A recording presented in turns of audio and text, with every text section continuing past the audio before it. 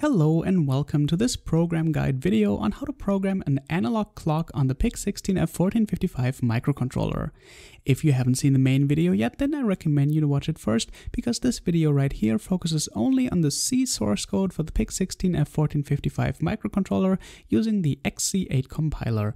And if you have never programmed a PIC microcontroller before, I also invite you to check out my PIC introduction video.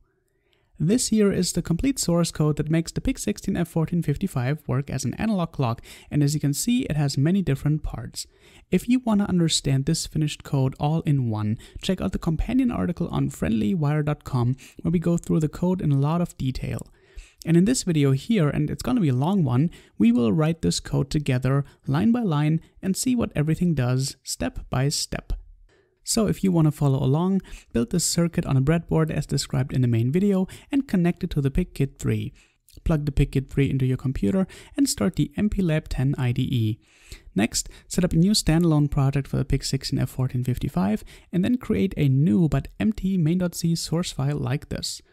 Also start the MPLAB IPE, select the PIC16F1455 as the device and the PICkit 3 as the tool, and after clicking connect, the PIC should be detected like this. And if this is all a bit confusing, then don't worry about it and go check out my fully detailed video on the MPLAB IDE, IPE, and so on. And finally open the PIC16F1455 datasheet, which you can download in the companion article. Now we're all set, and I will be switching freely between these three windows for the rest of this video.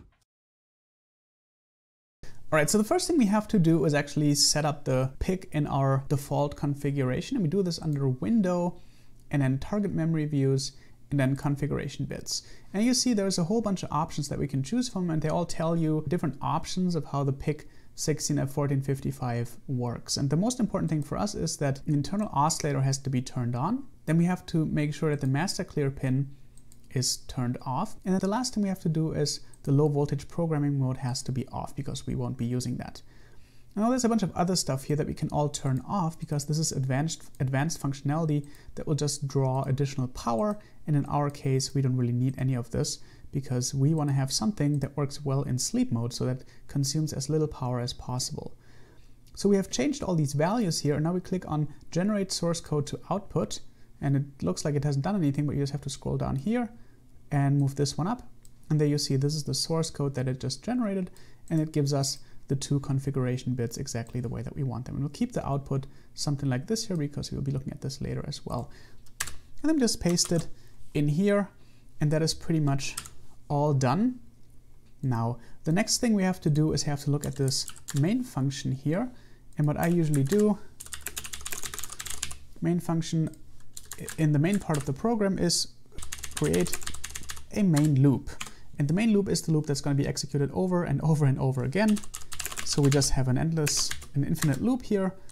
Oh, oops, like this, while one that always evaluates to true. So this will always, always, always be executed over and over and over again. Now we can program this, actually compile this up here.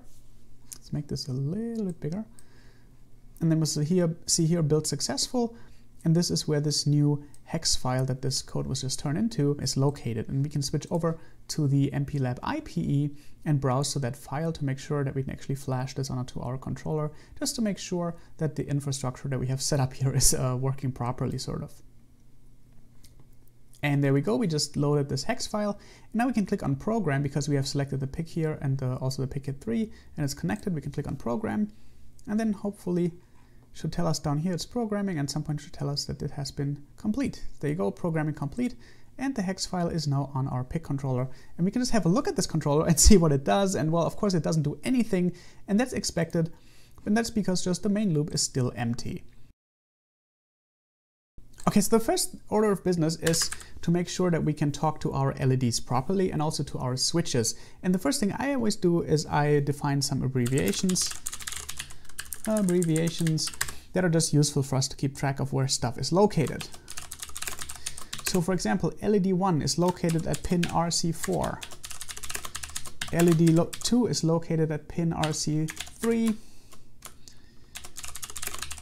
LED 3 is located at pin RC2 and LED 4 is located at pin RC0. And then we also have our buttons or our push buttons. So this is a switch on, and this one is located at RC1. There's the switch up that is located at RA1. And then there is the switch down, which is located at RA0. This is just the locations that I chose for this and I make it kind of easy to track later where stuff is. Anyway, now we have to make sure that we set the correct I.O. directions for these things because so far the controller doesn't know if these are inputs and outputs. Also there's, oh, there's a little typo here. There you go. Just uh, makes me feel a bit better. We have to configure the I.O. pins to be, well, inputs or outputs. And what we want to do for this is we have to make sure that the LEDs are all outputs and the switches are all inputs. So let's go through and set the tri-state registers accordingly. So tri-state C4 is equal to 0, means it's going to be an output. Tri-state 3, 3. C3 is an output as well. Tri-state 3, 2 is an output as well. Tri-state 3, 0 is an output as well. And then we have tri-state C1 is an input because that's where the first push button is. Tri-state, um, now it's going to be A. A0 is an input as well. And then tri-state A1 is an input as well. So this is what we have to do here. And there we run into our first problem because, well, these things are fine, it underlines these two in red. And it does that because it doesn't really know what it means to say tri-state A0 or tri-state A1. And that is perhaps a little bit confusing because, you know, why are we not able to set these two inputs and outputs? And the reason, as always, is in the datasheet. So let's have a look at that one. So I have it open right here. We can go to the table of contents and look at the section that is on the I.O. ports. That is chapter 12 in this whole datasheet. So this datasheet has a lot of different information, of course, but we actually are interested in port A.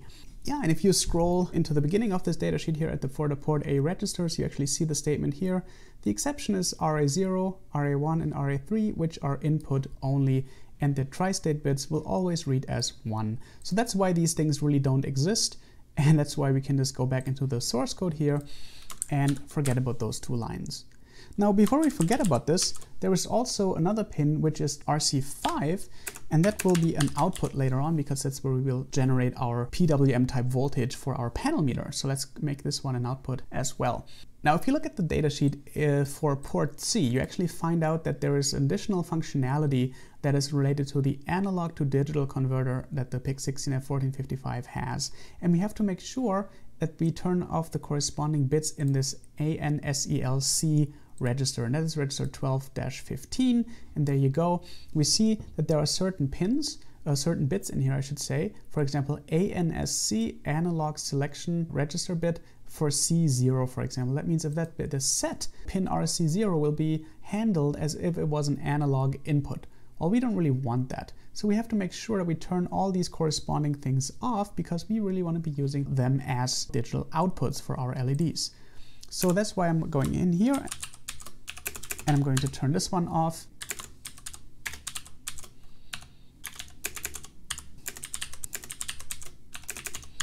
All of them that are applicable and ANSC1 is equal to zero as well. Actually, I made a mistake here. You see that ANSC4 doesn't exist, and we see here only 0, 1, 2, 3, and uh, well, these two are actually only applicable for the PIC16F1459, which we are not using today. Um, that's what this uh, little footnote here means. But these are the ones that we want to turn off. So 0, 1, 2, and 3. Let's go back in here. 0, this one. Turn this off as well. Oops. Uh, let's put this next to the 0 pin. 0, 1, 2, 3, and then 4 doesn't have this additional functionality. Okay, here we go. Now everything is basically set and we, we don't really have to worry about anything. But now, of course, the question is, uh, how can we make this sort of like more interesting and I can actually check in between that we know what we're doing. And the first thing I really want to do is just turn all the LEDs on. And we will be thinking, and we'll worry about the push buttons a little bit later. So two, three, and four, all these LEDs are on permanently. That's what we kind of want here. Let's just compile this code and create a new hex file. And then you see there's this new message here that shows up, and that's the message that actually comes well from the IPE. And it notices that the hex file has been modified and we is ask us if we want to load a new one and say, of course, we do want to refresh the new hex file and we can click on program here again. And once we do that, all these four LEDs which should just turn on permanently on our breadboard. And it's just a really good way to check that we know what we're doing. And if you look at the breadboard, yeah, that's actually what they do. So we are good to go. But because I don't want these LEDs to be on permanently because it kind of drains the battery, I'll just click on erase right here. I'll erase the hex file from the PIC again, and then these LEDs should turn off again. And that's what they do. And that means we have some more time now to work on the next steps of our program without killing the batteries too early. Now back in the program, what we want to do now is we want to first erase these old lines and we want to react to the push buttons. And we have three push buttons and we have four LEDs. So let's just use three push buttons to toggle three of these LEDs just to see that the push buttons are actually working. So one easy way to do this is to just write if switch on then. That's basically the statement here that's executed whenever switch on. And remember that is the location of one of our push buttons here on at RC1. If this evaluates to true, and in this case, we will just toggle LED 1. We'll write it like this, which is basically a nice way, oops, like this, that takes the value of LED 1 and maps to 1 minus of that value. So if it's 1, it gets mapped to 0. If it is 0, it gets mapped to 1. In other words, it just toggles this thing. And now we can do the same thing for the other buttons as well. So we have the up button and we have the down button. And of course, then we want to toggle LED 2 and here we want to toggle LED 3. And that's our still our main program. Not a whole lot happening here. Let's just recompile this. And there you go. And then we will say, yes, let's refresh this file and program it again. Now let's just see what happens on the breadboard. And all the LEDs should be off. But now the difference should be that if we press these buttons, these LEDs actually get toggled. But hey, what's happening here? We can't really see that, right? I mean, it looks like they're just getting dimmer, but they don't get toggled. And what's the reason? Well, the reason is that uh, this condition evaluates to true whenever the button is pushed. But that means if it's pushed and this line gets evaluated like 27,000 times a second, for example, well, then this line also gets evaluated 27,000 times a second. And we don't really want that. What we want is we want to sort of debounce this, or we want this to only react once or only a certain amount of times in a given time scale. And so what we have to do is we have to find a way to debounce these buttons. There's probably better ways to do this. I do this in the following way. I define these so-called debouncing variables and I just make them integers just to keep our life simple and I call them buffer variables like this. And for each button, we have one of them. So we have one for on, one for up, and one for down, and they're all equal to zero. So let's take this first value here and go in here and add a condition. Now this should only be evaluated if this buffer variable evaluates to zero, and then we need two more parentheses like this. And of course, then this means nothing at this point. But in this case, we'll just set this variable to a higher value, let's say 500, something like this. And what does it do? Well, in this case, it only gets evaluated once because the problem is now, of course, this variable is set to 500 once it has been evaluated once and it can never be evaluated again. So that's not really what we want. So what we have to do here is we have to say, we have to clear our debouncing variables. So we can just say if switch on buffer is positive, then we just decrease this value by one. And what that means is that after this loop has been cycled through 500 times, it'll be back to zero again. Now you can imagine that we have to do the same thing for these other ones as well. Like this, like this, like this. And then we just have to basically put these things in here as well, these additional if statements, up, up, and down, down, and then of course also this last line, up and down. There you go. And this should now help us to actually make sure that these things don't trigger all the time, but only every 500 loop cycles in the main loop. So let's program this and see what happens yeah, and if we look at our breadboard and we just do this thing now, we can actually toggle them quite comfortably. But of course, also one thing that you see is when you hold one of these push buttons pressed, it is actually going to blink. And that is because we didn't put in an additional condition here in the code, for example, that means that we can only uh, decrease this buffer if the button is no longer pressed. So I kind of like this functionality that if you held it pressed, that it actually toggles. But if you wanted, you could say and not switch up, for example. You could do something like this. And in this case, it would only decrease those values if you let go of the button. So let's see if that works too. Let's just compile this. Oh, I just realized this should be this should be on and not not up. But let's recompile this quickly in here, flash this onto the PIC. and then let's see what happens. All right, so now one of these buttons should actually toggle when we hold them pressed. Uh, both of them actually do that, but one of them shouldn't. One of them should actually only do that. There you go. This one only toggles uh, when you press it and you have to release it again. So you could have that functionality in here if you wanted to. We don't really need it for this project, and this is why I'm just re uh, removing these lines again here. But that's basically the main idea how to debounce our switches. So now let's talk a little bit about timing because so far all we have done really is have this, we have this main loop, we have debounced our switches and we know that the switches and the LEDs work and that's great, but we don't know how fast our program is running and that's always a good idea to know. And in our case, all we really know is that we're using the internal oscillator, right? And the internal oscillator, well, it runs at a certain frequency and we don't really know what that is. And I would like to have this program run at 4 megahertz. And the reason is that we want to do pulse width modulation at the end to control the panel meter. And that means the frequency has to be high enough that we get enough resolution into our pulse width modulation signal. Now, let's look at the datasheet to find out how to adjust the internal oscillator frequency and set this to actually the 4 megahertz that we, that we want. And there we are. Okay, so this chapter talks about the oscillator, and again, there's a lot of information in there that we don't really need, and that's something I was terrified of at the beginning when I looked at these data sheets, right? Because there are 400 pages of all kinds of things.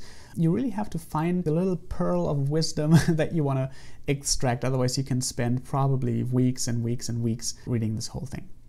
Okay, so what we want to do is we want to set the internal oscillator frequency to a different value, right? And so we have to just scroll and see what happens. And if you keep scrolling and scrolling and scrolling and you read just the headlines, you quickly find that there is a section and that I wrote it down here. It's 5224. That's the one that we need. There you go. Internal oscillator frequency selection. That's the one that you need. And you see that have all these different options here and 500 kilohertz is the default oscillating frequency after reset which is the one that our code is running at right now, but we want to change it to 4 megahertz. And you can see here that the registers IRCF 3 to 0, so these four bits are actually encoding this frequency here because they're set to these values after a reset so that this thing actually knows what to do. Now, what values do these things have to take so that this thing runs at 4 megahertz? And luckily for us, there is a chapter that talks just about that. And I wrote down this chapter 5.9 register definitions, oscillator control. And here they are, the IRCF bits that we have to set. And then here you just see what kind of values do we have to choose for them to run at 4 megahertz. And there you go. These are the combinations that we need. So I'm going to move this over here a little bit so that we can still see this on the right side here. And we can go back in here and actually work on our code. And what we want to do is we really want to configure this to 4 megahertz. So let's do that next. I always like to do this right at the beginning. We shouldn't be setting these values in the main loop. Setting them once is certainly enough.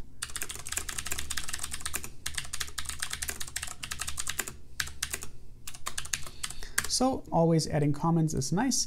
I'll try to keep the comments to minimum in this one because I'm afraid that this video is going to be very long anyway.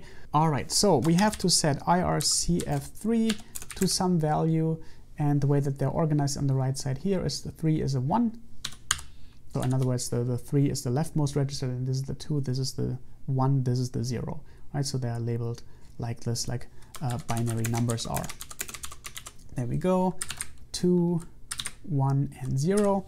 And the only one that's actually a 0 is IRCF1.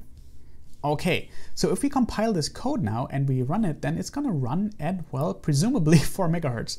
But what's a good way to figure out if it's really running at 4 megahertz? And there's a really nice little trick that we can use that at least I like to use a lot, which is we use a, free, a predefined function that makes use of a predefined running frequency here that we can specify like this. So this is 4 million, and this is a variable that's called crystal frequency. So we're telling the program, hey, we're running at 4 megahertz.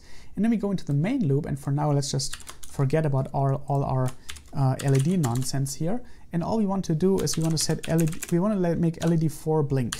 And we want to make LED 4 blink because, I mean, you could choose any other LED, LED that we want. But we just want to verify that this whole thing runs at, well, uh, 4 megahertz. So we told this thing, hey, you're running at 4 megahertz. But now we can use this really cool function that's called delay microseconds. And it takes a parameter and we can make it uh, wait for 500 microseconds. Oh, sorry, um, am I saying microseconds? Milliseconds, ms. so this is waiting for 500 milliseconds, another 500 milliseconds. And what that means is it turns LED 4 on, waits a half a second, turns it off again, waits another half a second. So what that means is if this code is really running at 4 megahertz and we compile this now and look at our LED, it should blink at roughly 1 hertz. It's a really nice way to figure out if something is really running at 4 megahertz or not, even if you don't have an oscilloscope. So I'm just flashing this onto the, onto the chip right now. And if we're lucky, then the yellow LED should start blinking. And there you go, it is blinking. And to me, that very much looks like one hertz, which tells us, yes, we're really running at four megahertz. But now that we know that this is actually running at 4 megahertz, we can delete this again. We can delete this again. We won't actually be using this functionality here as well. So we can just get rid of all of this and now talk about the next steps.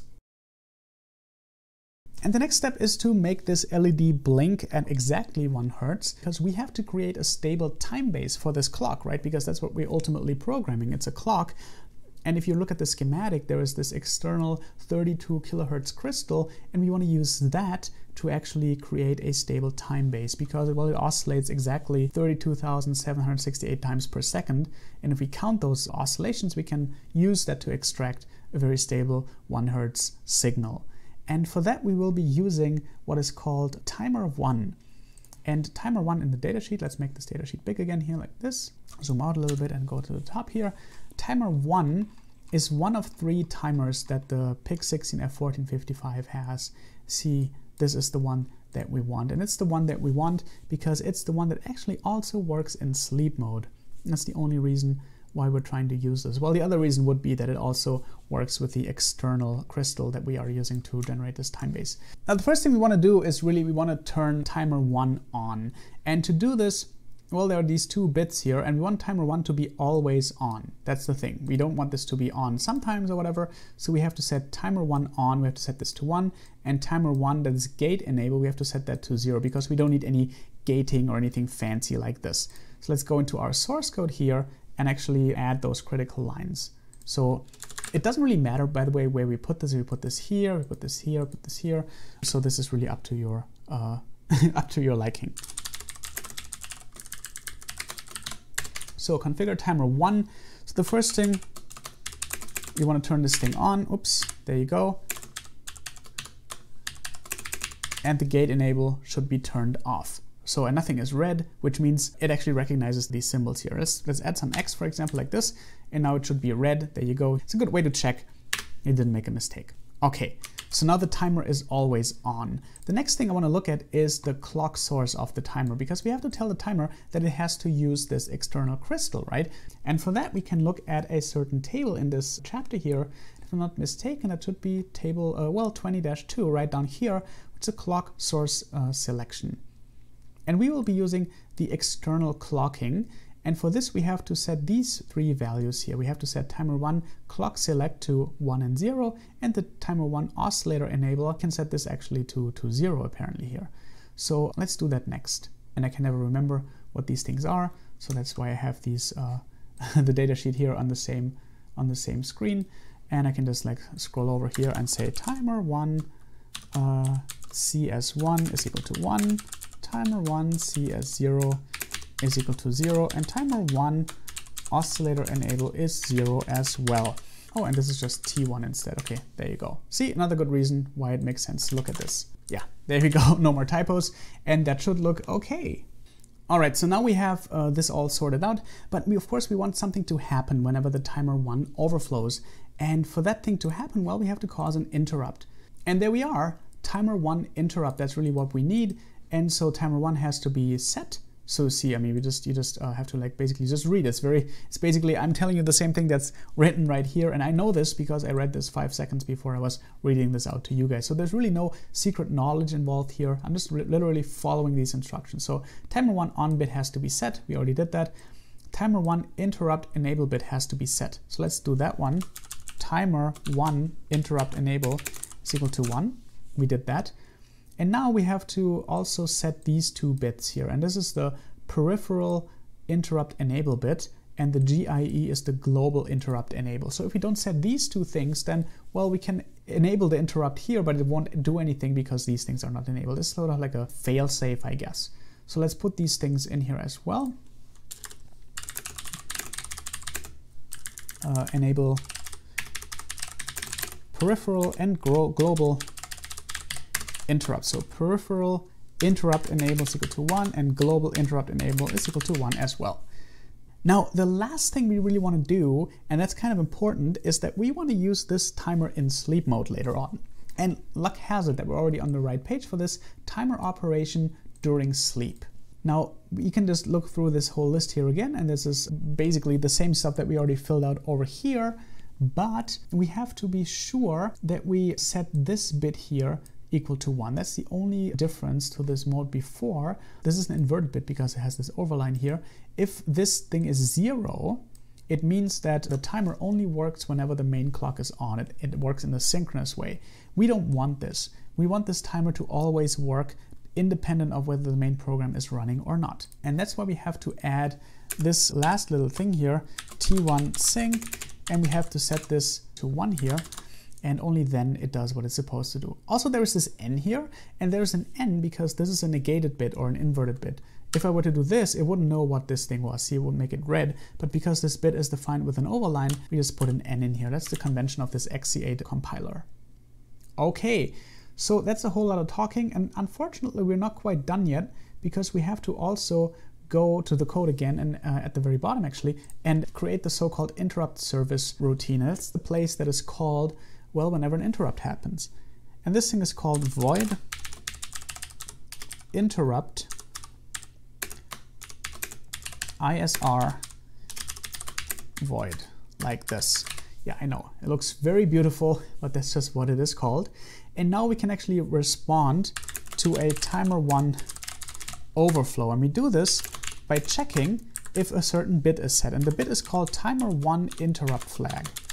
That's the bit that is going to be set. And now we have to, at the end, clear the interrupt flag, and these things are called flags as well, IF interrupt flag. So why do we have to set this thing to zero here? And the reason is very simple. If we weren't setting this to zero here, we'd just cause it, uh, run it over and over and over again because this condition would still be true. So we always have to clear our interrupt flag. And now all we want to do is really want to say LED4 is equal to one is equal to 1 minus LED4. And all that that does is actually, let's just write it down, well, it toggles LED4. And now, let's just put another comment here. This is the interrupt service routine, so we actually know what it does. And now we just compile this whole thing, hope that it works, and there's no error in here. Doesn't look like there is. Okay, let's flash it on the PIC and see what happens. And remember LED 4 is the yellow LED, so you can see what it does. Well, it doesn't really do anything. And the reason when I was coding this, I was really surprised by this. And it turns out the problem is this bit here, timer one oscillator it. We have to turn this thing on, otherwise it doesn't really work properly. And let's just first verify that this actually works and then look at the datasheet to see what that actually means.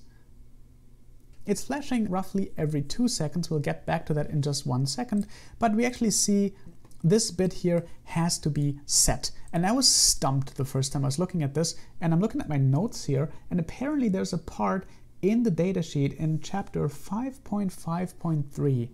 We talk about the general oscillator. Here we are, secondary oscillator. And we see Whenever there is an external oscillator that's connected between these device pins, this is the one that we actually have to turn on, and otherwise it doesn't work properly. And I find this very confusing because I would have thought that this would be somewhere in the timer mode, but no, it's actually in the oscillator section. So there you go. And uh, maybe somebody in the comments can tell me why this is not confusing. This one took a little while. We go in here and we see this bit here is now set to one and is working just as intended. Okay, so back to the point why the LED here is blinking at 2 Hertz and not at 1 Hertz. And the reason is that the timer, well, it's a 16-bit timer. So basically we have to cut this thing in two.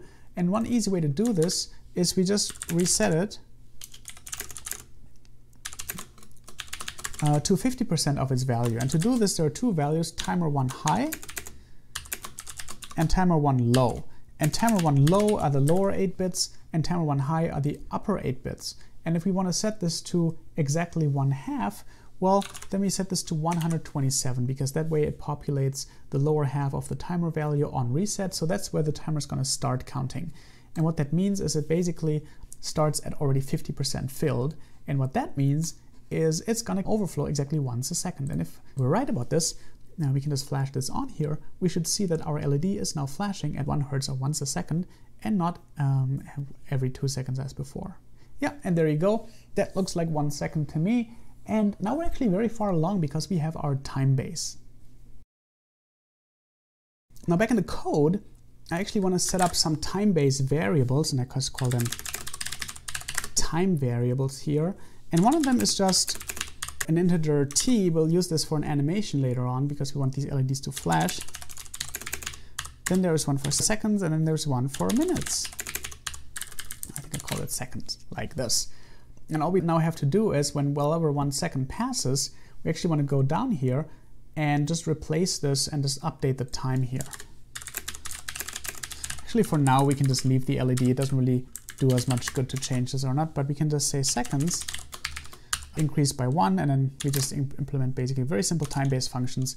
Some function which means if seconds is larger or equal than 60, well, then we go ahead and um, set the seconds back to zero and increase the minutes. Oops, like this. One day, believe it or not, has 1440 minutes. So if the minutes are larger or equal to 1440, well, then we set the minutes to zero as well. And that's basically our timing functionality here. Well, now that we have the time base in here, what we can actually do is we can actually uh, remove this LED toggling thing here. First thing is we can remove this entire on-off button in its entirety because we'll be doing something fancy with this one later because we, this will actually be opened by an external interrupt. We'll talk about this in just one second. But here, the up buffer and the down buffer here, we can actually, uh, the up and the down buttons, we can actually remove the LED toggling and we can actually replace the actual operation that we want this thing to do. Well, and then up, of course, what it means is, well, it increases the time. So let's do that. And we just have to do one thing here. Um, I like to cap this and say if the minutes are less than the maximum value, then increase the value of the minutes. And then in here, we can actually go ahead and decrease the time. And of course, we have to change this if this is greater than zero. And then we decrease the minutes. And that's about it. Now the buffer value now, because we're increasing the minutes, would probably be a little bit too high. So I actually changed this to 10 so it doesn't take too long to you know, move the needle from the left to the right, or in other words, to increase by 12 hours. If you left this at a 500, it would take you a very long time. and we don't want that. But again, that's nice, right? Because we can just program these things ourselves and just change these values. If for some reason you like 13 better and you, or you like 27 better, then you can just do that. And that's the nice thing about programming these controllers yourself because you can just really decide what is the most user-friendly experience for you, right? And that's one of the things why I really like doing this. Now, one of the things we can do now is because these LEDs don't do anything anymore, we can actually go ahead and animate these LEDs. Because they're the three green LEDs that are blinking along happily, right? And we have to kind of tell them how to do this blinking. So one way to do this is to take actually the timer one high value and remove 128. And we do that because our timer only counts from 127 to 256, right? Because remember, we always reset this back to 127. So this is going to be a value between 1 and 128. And we divide this by 42 and we do that because that's roughly a third of 127. And what that means is that this value t will have values, remember t is an integer, right? So it'll have values of 0, 1, or 2. And so what we do here is basically we take up one second and we divide it into three equal pieces. And now we can just say, well, if we're in the first part of this animation here, then what should we do? Well, in this case, please turn LED 1 on and turn the other ones off. Like this. And now we can just keep playing this game. But we can just ask for other conditions instead if LED is equal to 1. Or if the, oh sorry, not the LED, if the t variable is equal to 1 or if it's equal to 2. And there you go. this is how you can check very easily in which part of the second we are located. And of course, we also have to change this animation here so that it really cycles through all these three LEDs. And another one is, of course, we can use now LED 4 as a PM indicator, which is really what it was meant to be all the time. Uh, in order to do that, of course, we have to remove this LED 4 being toggled here from this interrupt servicing routine and we can actually replace this with the functionality that was meant to have all the way. So if it's a PM indicator, let's just write it this way maybe, is it, is it AM? Because if it is AM, well, then it should be off. We can check for AM if the minutes are less than or equal to 720. Oops, there you go. And in this case, it should be off, and otherwise LED should be on. And that's just one quick and clean way to check whether it's AM or not. And now the LEDs are actually doing what, what they're supposed to do. So if we compile this, we won't actually be seeing this functionality here because the seconds and everything start at zero. But what we will be seeing, hopefully, is the animation of these three green LEDs. So let's check that next by transferring this hex file onto the controller just to see what happens. And there you go, the green LEDs are blinking along every second. And if you like a different pattern, you can totally do that yourself as well. This is of course just an example. Remember the on switch that I removed from these if statements a couple minutes ago? And the reason was because, well, these things, well, they should only work whenever the clock is turned on, but the on off button always has to work, even if the clock is in sleep mode, right? Because you use that button to turn the clock back on. So we have to actually access that button in a slightly different way. And the way to do this is to work with an external interrupt. And to do that, we have to look at the datasheet, specifically at the chapter that talks about interrupts. And if I'm not mistaken, that should be chapter 8 see interrupts. There we go. And you see there are certain interrupts that we can use. And the one that we want to be using is the one that's from the INT, from the interrupt pin. And we see here, pin RC1 is actually the interrupt pin. So it exactly does what we want. We go into the code here and we see this is actually pin RC1. That's why this is the on and off button. so there you go. But how do we turn this interrupt on? Let's go back into this chapter 8 and you see there is two things. There is the INTF, which is the interrupt flag, right? And then there is the INTE, which is the interrupt enable. And the interrupt enable bit, the, the interrupt enable bit is the interrupt bit that we have to turn on. So we can put this here.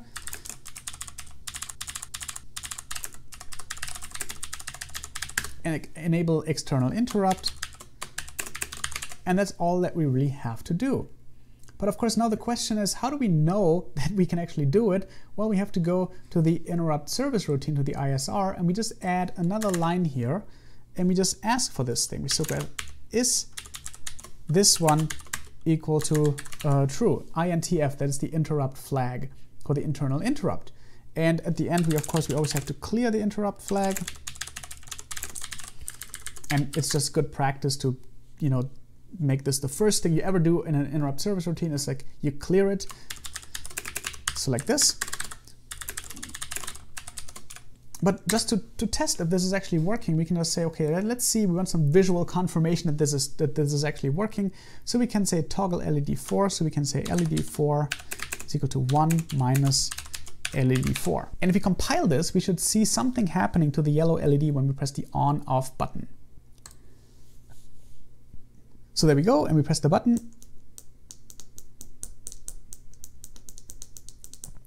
And it's a bit hard to see, but the yellow LED is actually flashing. And why is that? Well, it's because we made a mistake because in the main loop we still have this stuff here.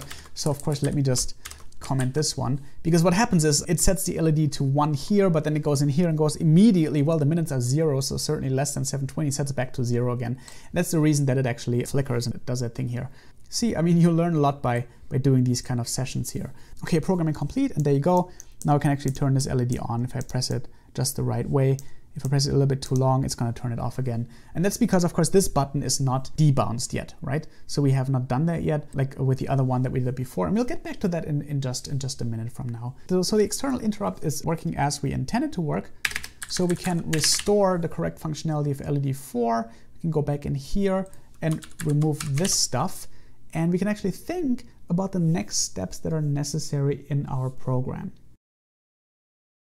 And the next major step that we have to still incorporate is the pulse width modulation functionality. So of course the pulse width modulation, you see this here in chapter 24, it uses a timer. It uses timer 2 to, to drive everything. And it uses PR2, which is the period register of timer 2. And there's also a very nice way here to see how this actually works in timer 2. So here's the simplified block diagram for timer 2. We actually see there's also a prescaler. We don't really need that. We will use the full oscillating frequency that we can get. And then there's this period register 2 here that we have to work. And there's also post scaler, but we don't really need that too. So most of the advanced functionalities are actually turned off in our case. But let's go back here and actually configure timer 2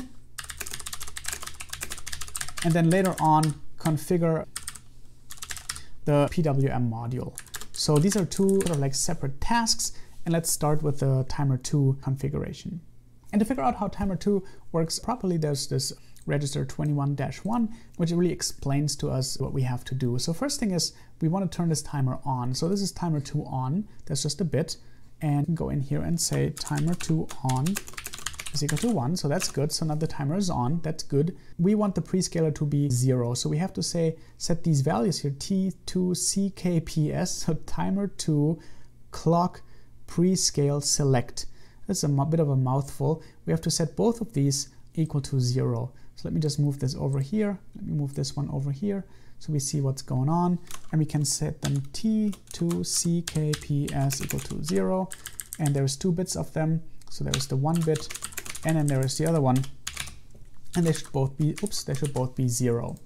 Ah, yes, and the last thing we have to do, just in case, is remember that timer 2 here has a period register and that period register should be equal to 255 and that is basically related to the fact that our pulse width modulation will be an 8-bit pulse width modulation. Not quite, it will be 10-bit, but there's some additional details in here.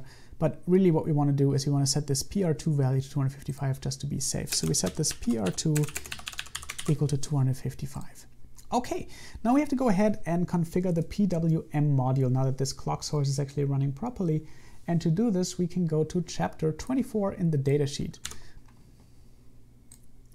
Pulse width modulation, there you go. And here's our simplified diagram. We were just dealing with this timer 2 module here. But if you look at the first figure, you actually see exactly how this PWM works and how the pulse width is actually computed. And the way that it does it, it really compares it to this PR2 value that we just set to 255. So they see this is where the resolution of the PWM stage actually comes in. If you look at the other registers that are necessary, there you go. They always have these register definitions here where all these important things are listed. And you see there is PWM XEN for enable, there is the output enable, there is the output value, and then there's also the PWM polarity. And this X can be either one or two, depending on which PWM output you want to be using. And we will be using PWM 1. But the PIC16 F1455 has two independent PWM channels, so if you want a second one, you can do that too. So what we have to do, really, is just very simple. So we want the PWM signal to be zero by default. But then we also want this PWM module to be on, right? So we say PWM1 output enable, OE, is equal to 1. And we say PWM1 on, oops, on is equal to 1 as well. Um, I missed, missed something up here. PW1 EN, sorry, for enable. So now actually what this does, it really just turns this PWM on, but at a zero value. There you go. Now, is there any way for us to test that this whole PWM stuff is working properly? And well, there is one way to do this, and we can set this high value here. That's the value between 0 and 255. We can just go in here into the main loop for the panel meter and just put this to 127. And that's something in the middle. It's not fully maxed out. It's not fully to zero. It's just something like that. And if we just compile this, we can just have a look and what that will do to our panel meter. So let's flash it on there and just see what happens. Yeah, and you see the panel meter is roughly in the middle, which means that, yeah, this, uh, this PWM is actually working as intended. But yeah, that's basically how this works. So it's actually nice. We're at the point where we can basically forget about microcontroller registers because we have everything at our disposal. Of course, now we have to ask ourselves, really, how do we actually make it so that the output voltage corresponds to the time information. And again, we're going to do this by just a different distinction here. We're going to take the two different cases here, either AM mode or PM mode.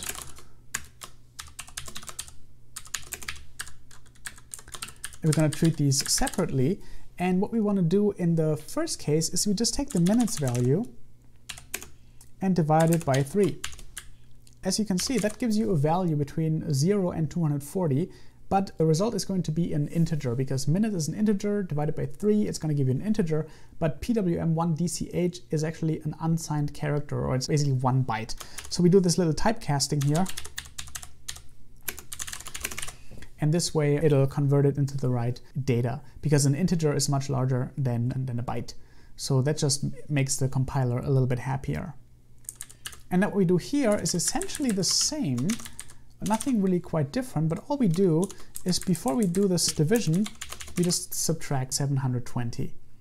And that's all that we really have to do to take our minutes information and convert it into a voltage on the panel meter. We can compile this again, but of course now you don't really see all that much. But actually, at this point, we're probably able to check that our clock is working for the first time. So let's program this onto the PIC and see that we can actually adjust the time. So we should be able to at least increase and decrease the time. And if I do this here, you see that it works already quite well. So this certainly increases it. And I can press the other button here to decrease it again. And you see that it's doing a decent job at this. And if I increase the time a little bit more, and of course it's going to take a little bit for the for the needle to go from left to the right, then you will see that the yellow LED turns on eventually as well, because now we are in the PM range of our clock. So that's working just fine. And we're finally at the point where we can talk about the sleep mode. And the sleep mode is really just very simple because all we have to do to set the controller to sleep is to write these lines here. That sets the controller to sleep. But of course, we don't want to do that here. We want to do that somewhere else. And one way to do this, uh, which is the most convenient way that I found, is to define a status variable. And the status variable, I just call this one status on.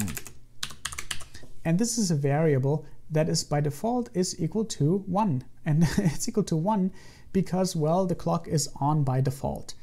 And then what we do in here is we make a little if statement that goes around all the output functionality. So if status on, then do all these things here, meaning do all these, these LED things, the PWM output.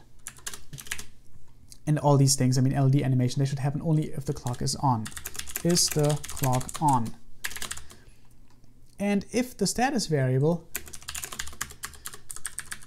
is off, well, if the clock is off, then we can just say, go to sleep. That's how it is, right? Of course, we're not setting the status variable yet. We're actually going to be doing that in the interrupt service routine whenever the external button is pressed. But of course, if the clock is turned off, we have to make sure that everything is turned off properly, right? So we want to make sure all the LEDs are off. So LED 1 has to be 0, 2, 3, and 4. So all the LEDs are turned off. And then we also want to make sure that the PWM module is off as well. So we can set the duty cycle values to 0 as well. But then we also want to make sure that this thing is actually disabled. So PWM1 enable is equal to 0. In that case, we can really go back to sleep. And now, of course, if we are awake, we also have to make sure that is everything turned on. And that's important because, well, these values, we're setting them here, we're setting the LEDs down here, but the PWM module itself might be turned off. So we have to say PWM1 enable is equal to 1. There you go. This is all that we have to do because now the PWM module is always enabled when the status is equal to on. now, we have done a whole lot of stuff, right? But it's kind of artificial at this point because this is a dummy variable. This is just equal to one all the time. So all it ever does at this point is just do the stuff that it did before. The other one, when it is zero, doesn't get executed at all. But that's where we go back into this one here, into the interrupt service routine. And remember the external interrupt.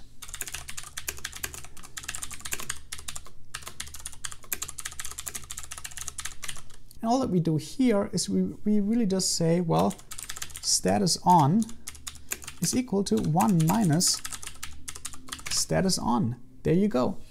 And um, that's really all we need because all that that does is when it was 1, it sets it to 0, when it's 0, it sets it to 1. This is the same stuff as before. It jumps out of the interrupt service routine, and the next time it hits this line here, it's going to say, oh wait, the clock is, should be off. So turn off all the LEDs, turn off the PWM, and go to sleep. Now, one thing that is important is that this button can actually bounce, which means that mechanically, if you press it only once, it can be triggered a couple of times. So we have to actually debounce this button as well. So we can just use our similar variable from before, and we call this switch on buffer. And only if it is zero, then please um, execute these lines here, toggle this mode, and also then set this buffer variable to a large value. And we're going to use the same one that we used before, this 500 in here. And that actually makes sure that there is some additional debouncing going on, that if you press you know, the on-off button a little bit too rapidly or too, too strongly, that it doesn't turn it off and turn it on again. But yeah, I think that should be it. Let's compile this and let's flash it onto our PIC and see what happens. So we can certainly increase the time. Uh, we can decrease the time, that's just like before. Now what happens if we press this other button and everything goes off? So that's good. Now can we turn it back on again? We press this button and we can't. And why can't we? If we try this at this point, it doesn't really work because we forgot about one little thing, and that is the buffer variable. When we press this button, we are in the interrupt service routine, and we actually turn this thing off, so the status on goes from 1 to 0, well then this, the switch on buffer value is at 500. And if we go to sleep at this point, we can never ever wake up again because this will always evaluate to false. So we have to go into here and um, into the main loop right before we go to sleep and we have to reset, reset this buffer variable back down to zero. Now, this is a little bit silly perhaps because it means that the buffer variable only works one direction, not the other one, but I still find it to work slightly better this way. And if we do this and we finally program our hex file onto our controller, then we actually see, well, now it should actually work. We can increase the time, we can decrease the time, we can turn it off, and then we can also turn it back on again. And our clock is finally working the way it's supposed to work. And we made it. This is how you can program an analog clock on the PIC16 F1455 microcontroller. I hope that this program makes a lot more sense now and lost a bit of its mystery. Let me know in the comments if I should explain anything in more detail and I will do my best to get back to you.